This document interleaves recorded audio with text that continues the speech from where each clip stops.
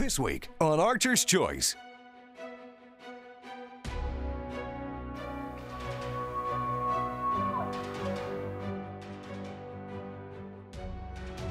Like I said before, don't ever give up faith or hope because God will reward you, and He rewarded us with RJ.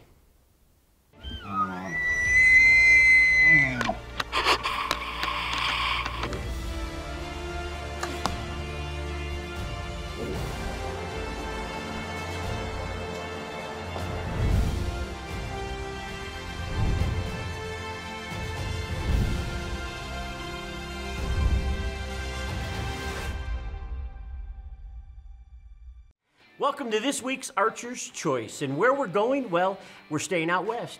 Yeah, we're gonna head to Wyoming. Yes, R and K again. Oh man, R&K Queen Mountain in Wyoming.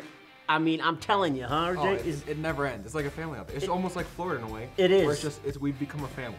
with Rob and everybody. Yeah. I mean, Yeah. you Blake. just, you just, Rick. Rick. So we just- all named each all of other's blinds or Yeah. blinds No, I guys. named so. Yes. yeah, yeah. No, you didn't. Yeah, I said you say Blake. I I, said thought I Blake. said Blake. No, okay. I'm Anyways, Blake, right, Blake? we headed is back out to deal with. Wyoming to spend some time with our family at R and K hunting in Wyoming at Queen Mountain. the elk are bugling. Yes, And they I are. am telling you what, as usual, when we go out there, we are in the dead center of the elk community. and it's gonna get exciting. Oh, buddy. So let's get going, shall we? yes, shall. we, We got the big We Galoob. shall. The big Galoob is with us. Yes. You know the good thing is, is that we have him to carry stuff out too. That's why. That's why I'm having him lift every day. This kid's gonna carry moose and everything.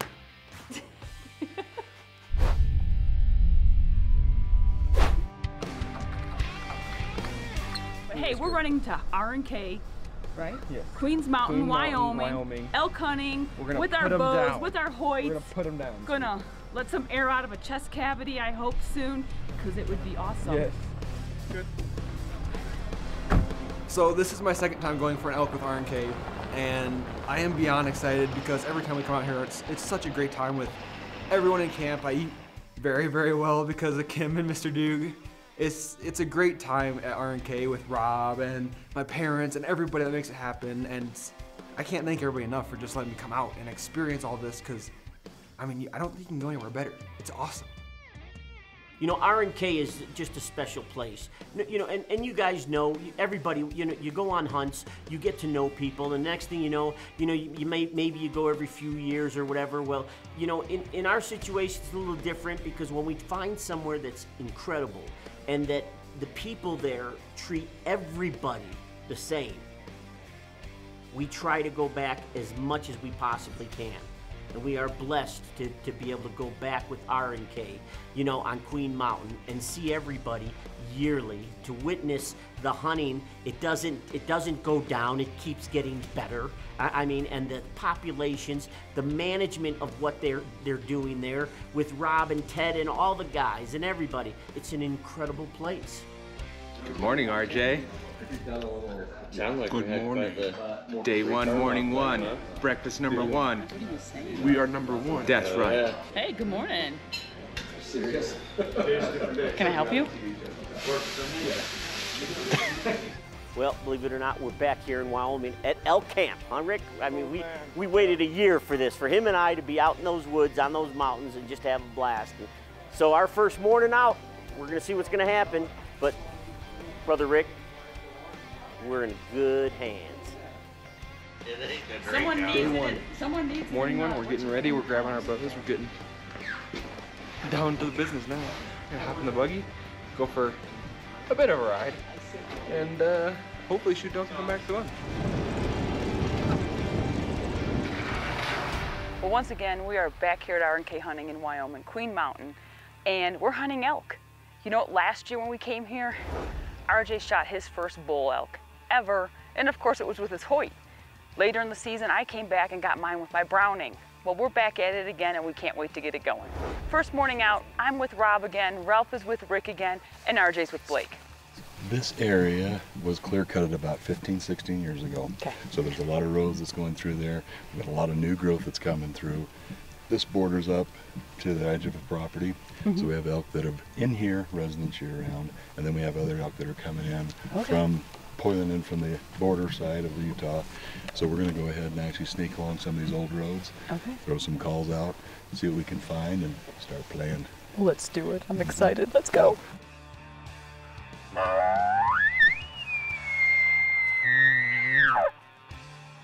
Terrain is any, I mean, if you've ever been to the Rocky Mountain West, uh, it's not so much rolling hills, but it's not an extreme climb as far as actual inclines or anything along those lines.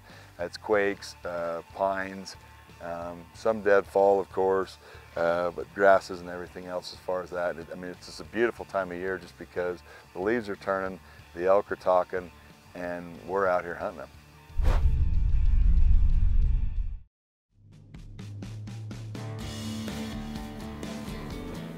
As the first day of the hunt at R&K is just getting started, Ralph, Vicki, and RJ couldn't be more excited to be chasing after Wyoming bull elk in their natural Rocky Mountain habitat.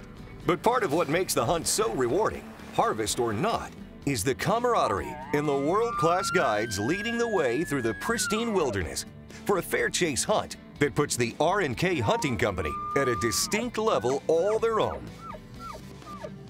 Day one, we hunted section 11. There were some elk in there. We, we did chase some bugles. Normally that's one of my honey holes, but it, it was a little slow. Since we're not hearing any bugles, don't bother.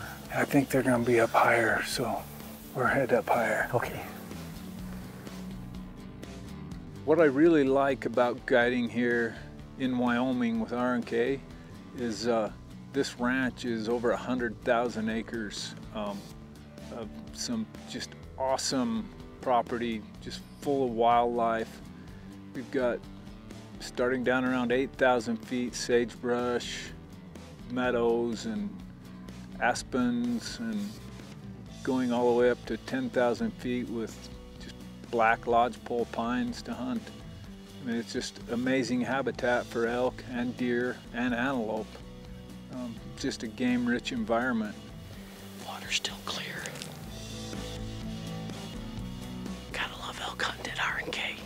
Queen Mountain, Wyoming. Um, we sat on a, we sat on a couple different wallows, and uh, trail cameras there showed that elk had been in the area and had been hitting the wallows, but we didn't see a lot, so we we moved from that area.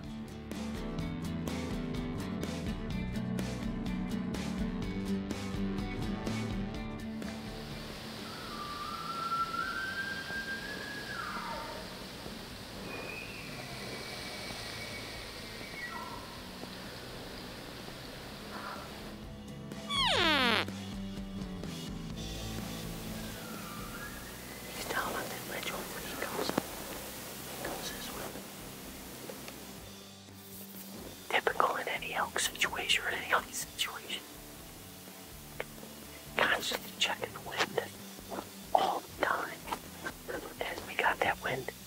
Again, it's in our favor. And it just, for seconds, moves that way. And goes here probably within 75 yards,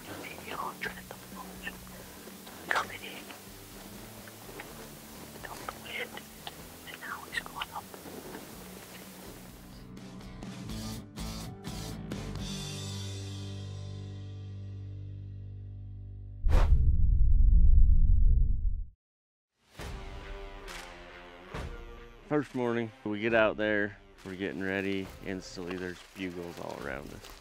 I'm like, yes. So we all got ready. Off we went through the woods, chasing bugles. So this is my third year going to R&K, especially with Blake, my guide. It, no matter what, no matter if we get an animal or don't get an animal, it's always pretty much the best time.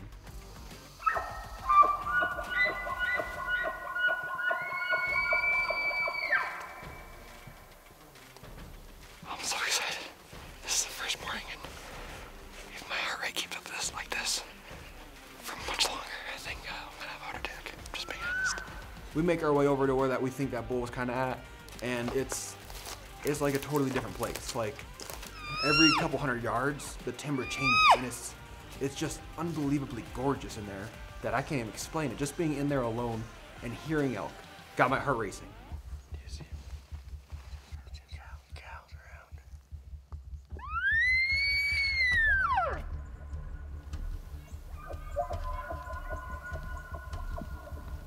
We're sitting on the edge of this meadow in the trees, waiting, waiting, waiting, hoping that we can get this bull or even the cows come over us to hopefully attract that bull over. But they don't really like it, so they kind of keep moving on their way away from us. They kind of round the corner into the timber of the meadow, and it's, it's our time to go. So we shoot across the meadow. We can't see any of them at this point. We continue going across kind of the edge of the meadow. We're trying to catch back up to this bull. You guys ass with it. But around this loop pad of this. Right now we're crossing a big open field. Going into the timber, not really knowing where the elk were at, we had to be really careful just because, I mean, you never know, especially out there. They can be anywhere and they're incredibly stealthy for how big they are.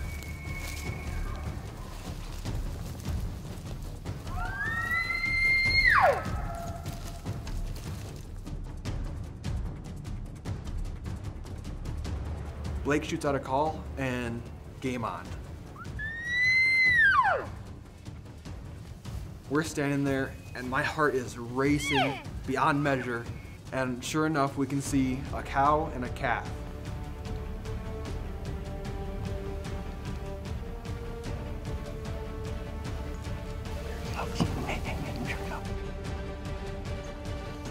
As this cow and calf are coming in, Blake has me draw back when they can't see us. I'm sitting there drawn back. They're getting closer and closer. I'm freaking out because they're easily within shooting range. I can almost jump at them and grab them. I'm standing there and the bull's coming right behind him.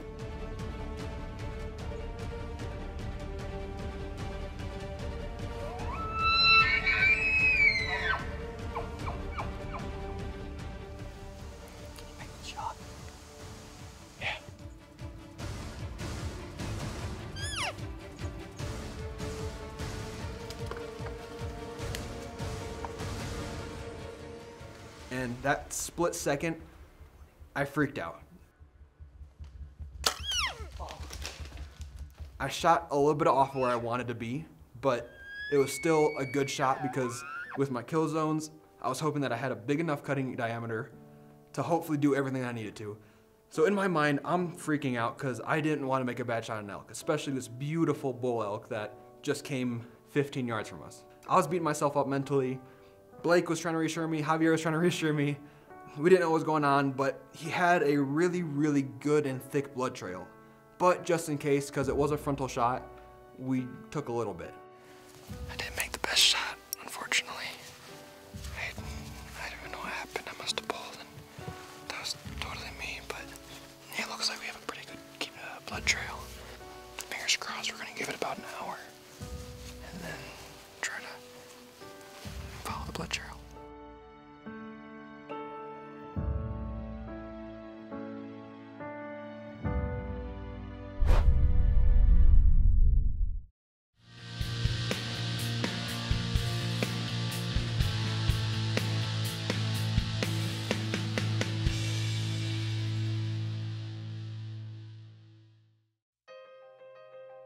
RJ has just taken a shot at his second ever Wyoming bull elk, but the shot placement has left him uneasy. However, that feeling soon turns to optimism as the crew encounters a thick and consistent blood trail. So in this blood, it looks like it's it's got a lot of air in it, like it's spraying out really hard.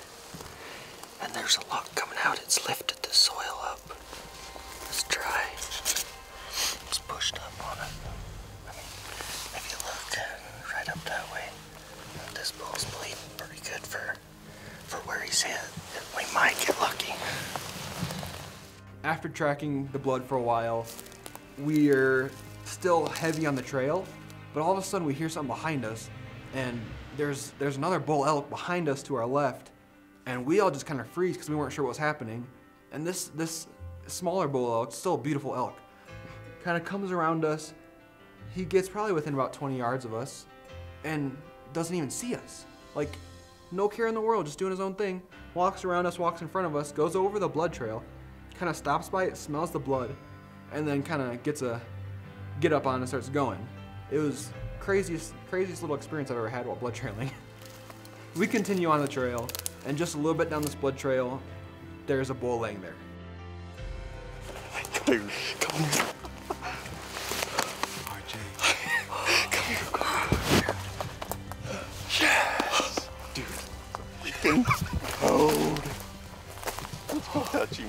and I get so excited. I don't know what to do again. I know I get excited, excited a lot, but that's just how it was because it was the one of the craziest hunts I've ever been on, and it was my biggest, my second, but my by far my biggest bull, and I couldn't be happier.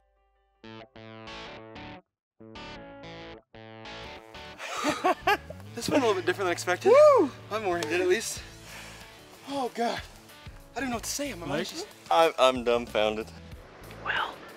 I got a text. Vicki said that RJ's got a good bull down, and they're already got it. And he's gonna be pumped, just as mom and dad are gonna probably be pumped a little bit more. How does a father or a mother embrace any harder, any more heartfelt, soulfelt when your son or daughter continually are successful? This kid, this big galook, I'm telling you, is he just he goes out, he makes it happen. And and I mean for us to be there and share it and to get a text on the first day of our hunt with R and K Queen Mountain, and I mean these folks are it's just it'll blow your mind if you ever get there. And I, I mean i can tell you this from the bottom of our hearts. Mom dad we are so proud and blessed to have a son that respects the outdoors wants to be a steward of the land and the animals. Everybody around him they th- there's an aura about rj that people sense and they just they go man what a great kid. He ain't a kid no more. He's a big galook and i'm telling you I am so proud to be his to be his dad, to be his father, because to watch him grow up and to understand and love the outdoors like Vicki and I have our whole entire lives. Like I said before, don't ever give up faith or hope because God will reward you and he rewarded us with RJ. So Blake just, we just got a hold of him. There's enough cell service, just barely enough. And he said they'll be coming out of here soon. So any moment, we should be seeing RJ with his bull elk. I promise you, an elk has more muscle than just his neck alone. Not even my entire body. That is my conclusion of today. You know, when he came out of the woods with that big old elk thing up on the top of his head, it just made my heart melt. Look at you! Oh my gosh, buddy! Look at you! Thing working out, bud. No kidding. Oh, congratulations. Oh my gosh. I'm so happy. Thank you. I'm so proud of you, bud. How was your morning? Huh? How was your morning? Not as good as yours. Look at him. oh. wide. Huh? He is wide. Goodness, bud. That. Jeez. Look at you. The mass on him. This is what it's about. And you know what's even crazier is it was National Hunting Fishing Day. You know, you're supposed to be out there sharing it with your friends and family and getting new people involved in it. And what a great thing to happen on that day as we're out there. Here's my little big man. It's so cool. And the natural smile he gets on his face when he saw me and just, it melts my heart. What do you think of this little elk that? It's amazing. Never seen anything like it. Amazing. Seriously. Beautiful. It's amazing. It's a Buddy, come here. That's a pretty good bull. It's a great bull. Oh man. Oh, that's fantastic.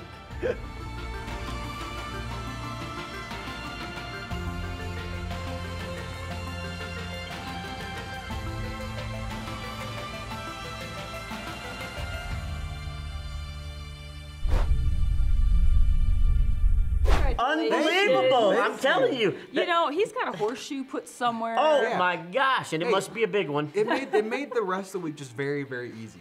Yeah, Yeah, I you, sat like, back, what did you do? It was I ate a lot. Yes. Oh, yeah, Yes. Miss Kim and Mr. Duke. Whew. yeah. Yeah, yeah, that was a little- Might have gained a little weight after that one. Yeah, but, but Oh I'm telling my you what, again, the thick of it. I mean, this R and K, we we cannot tell you enough about it. It No. just, it's anything you've ever dreamed of, and and you have the the mecca of elk hunting.